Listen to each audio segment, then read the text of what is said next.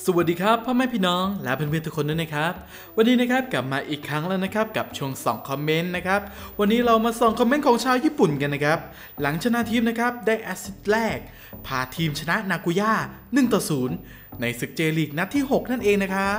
และในที่สุดนะครับก็สามารถปลดล็อกแอสซิสต์แรกได้สำเร็จนะครับในทีมใหม่อย่างคาวาซากิฟรอนตาเล่นั่นเอง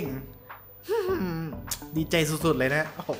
อยากจะกรี๊ดนะแต่ ข้างห้องเดี๋ยวข้างห้องเขาด่านะ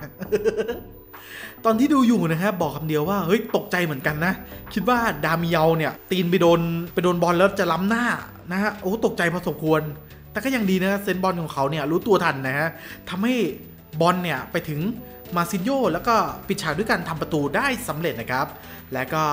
จบเกมไปในการเอาชนะนาโกย่าไปด้วยผลสกอร์1ต่อ0นะครับทำให้ทีมคาวาซากิเนี่ย กลับเป็นเป็นจ่าฝูงอีกครั้งนะครับ จากสัปดาห์ที่แล้วเนี่ยร่วงไปเป็นอันดับที่ 2 มาแป๊บหนึ่งแล้วกันนะ แต่ในเกมนี้นะครับก็น่าเสียดายที่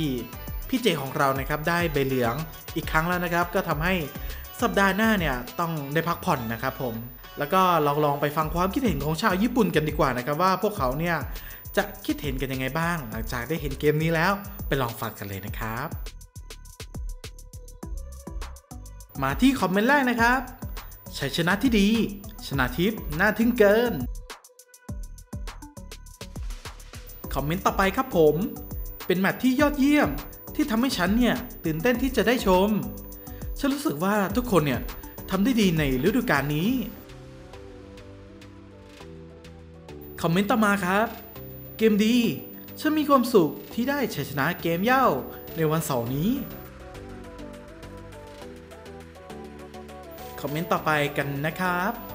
ขอบคุณสำหรับการทำงานอย่างหนักของคุณ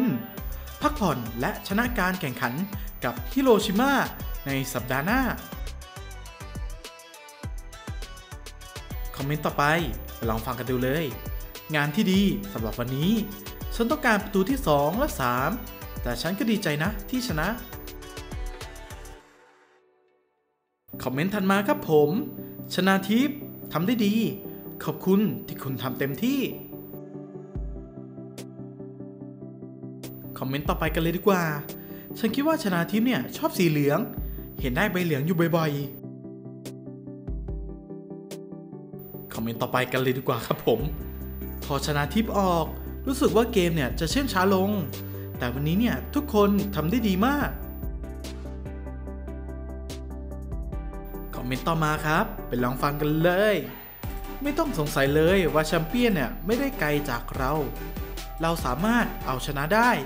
และนั่นก็น่าทึ่งมาก คอมเมนต์ต่อไปกันนะครับผมวากิซากะและชนะทิพย์เนี่ย ควรเล่นกองหน้า พวกเขาเป็นตัวบุกที่ดีและส่งบอลได้เฉียบขาด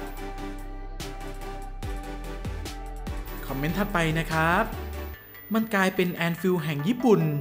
อยากรู้ว่าปีนี้เนี่ย จะมีทีมไหนมาทำลายปราสาทนี้ได้ไหม คอมเมนต์ต่อมาครับ โชคดีที่ดามิยาวรู้ตัวทัน หากลูกนั้นโดนเขาคงเป็นลูกล้ำหน้าเป็นแน่ คอมเมนต์ต่อไปกันไปลองฟังกันดูเลยแอซิดลูกแรกในบ้านใหม่ หวังว่าชนาทิพย์เนี่ยจะได้ประตูลูกแรกในเร็ววัน คอมเมนต์ต่อไป ไปลองฟังกันดูเลย ชนาทิพย์สร้างโอกาสให้เพื่อนเสมอ แต่น่าเสียดายที่ได้ใบเหลืองเร็วเกินไป คอมเมนต์ต่อไปกันนะครับ หวังว่าคุณเนี่ยจะเข้ากับทีมได้เร็ววัน พัฒนาการของคุณเร็วมาก คอมเมนต์ถัดมาครับ ไปลองฟังกันดู วันนี้คุณเกือบได้แอสซิสต์สองลูกแล้วแต่เพื่อนร่วมทีมของคุณเนี่ยทำออกประตู ไม่เป็นไร นาน่าเอาไหมคอมเมนต์ถัดไปไปลองฟังกันเลย เกือบล้ำหน้าแล้ว แต่ดามิเยาเนี่ยมีเซนที่รวดเร็ว คอมเมนต์ต่อไปกันนะครับ เสียดายคุณไม่ได้เล่นเต็มเกมอีกครั้ง แต่ได้เห็นคุณเป็นตัวจริงเนี่ยก็เพียงพอแล้วคอมเมนต์ทันมา ไปลองฟังกันดู พื่อนร่วมทีมเริ่มไว้ใจคุณมากขึ้น ลูกส่งของคุณดีที่สุด คอมเมนต์ต่อไปกันนะครับผม ควรจะได้ 2 ประตู หากยิงเข้าอีกหนึ่งลูก จากลูกส่งของชนาทิพย์เขาส่งได้ดีจริง ๆ คอมเมนต์ต่อไป ไปลองฟังกันดูเลย รู้สึกว่าชนาทิพย์เนี่ยจะเหนื่อยเร็วขึ้นโค้ชจึงเปลี่ยนตัวเขาออก ไม่ใช่เพราะใบเหลือง คอมเมนต์ต่อไปกันนะครับผม ชนาทิพย์มีเวลาพัก 2 อาทิตย์ เพราะบทลงโทษจากใบเหลือง และเป็นช่วงแข่งของทีมชาติ คุณมีเวลาพักได้อย่างเต็มที่ คอมเมนต์ต่อไปกันนะครับผม ส่งลูกได้เด็ดขาดเสมอ หากเข้ากับเพื่อนร่วมทีมได้ดีขึ้น อาจได้ประตูมากกว่านี้ คอมเมนต์ทันมาครับ ดามิยาวหลอกได้ดี ในลูกส่งที่เจ ส่งให้มาซิโย แล้วก็มาถึงคอมเมนต์สุดท้ายกันแล้วนะครับผม ไปลองฟังกันเลยนะครับ ไม่ได้เห็นชนะทิพย์อีกหลายสัปดาห์ ฉันคงคิดถึงเขา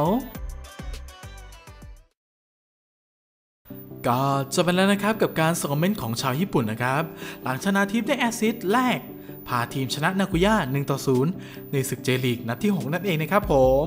เป็นยังไงกันบ้างครับกับคอมเมนต์เหล่านี้นะฮะ โอ้โห มีความสุขนะฮะ โอ้ในที่สุดก็ปลดล็อกได้แอสซิสต์แรกนะครับ ที่จริงในนัดก่อนๆก็จะได้อะแต่ เพื่อนร่วมทีมเขาเตะไม่เข้าประตูนะฮะ แต่ก็ดูๆแล้วเนี่ยบางทีพี่เจก็ยังไม่ค่อยกล้า ที่จะทำประตูเองมากเท่าไหร่ส่วนใหญ่ก็จะส่งให้เพื่อนนะ แล้วเพื่อนก็เตะออกนะแล้วก็วิ่งตามบอลไม่ทันอะไรประมาณนั้นนะฮะก็พยายามปรับเข้ากับเพื่อนอยู่ มันก็เร็วนะสำหรับผมผมรู้สึกว่าเขาปรับตัวได้เร็ว แล้วก็เข้ากับเพื่อนร่วมทีมได้ดีเลยทีเดียว แล้วก็การเล่นบอลของเขาเนี่ยโอ้โหน่าชื่นชมเหมือนเดิมไม่เปลี่ยนแล้วก็ดีขึ้นกว่าเดิมแน่นอนผมเชื่ออย่างนั้นนะฮะ แล้วเพื่อนๆล่ะคิดเห็นยังไงนะครับ ก็คอมเมนต์กันเข้ามาได้เลยนะครับก็อย่าลืมส่งกำลังใจให้พี่เจนะฮะได้พักผ่อนกันนะครับในสัปดาห์ลืมไปสัปดาห์หน้าได้พักผ่อนนะครับเพราะว่าติดโทษใบเหลืองนะครับโดนเยอะเกินนะฮะเกมนี้ 15 นาทีแรกนี่ก็ได้ใบเหลืองนะ ไม่รู้จะรีบไปไหนครับพี่แกไม่เป็นไรได้พักผ่อนนะฮะไม่รู้ว่าทีมชาติเนี่ยที่จะได้แข่งกับทีมอะไร 2 ประเทศนะลืมเหมือนกันนะไม่รู้ว่าจะได้มาร่วมหรือไม่ขอให้มาแล้วกันอยากเห็นนะฮะนะพาทีมชนะ หรืออะไรก็แล้วแต่นะ อยากเห็นแค่นั้นแหละโอเคครับ จบไปเพียงเท่านี้ด้วยกันนะฝากกดไลค์กดแชร์ กดติดตามกดกระดิ่งช่องนี้ด้วยนะครับ เอาไว้เจอกันในคลิปหน้านะครับผม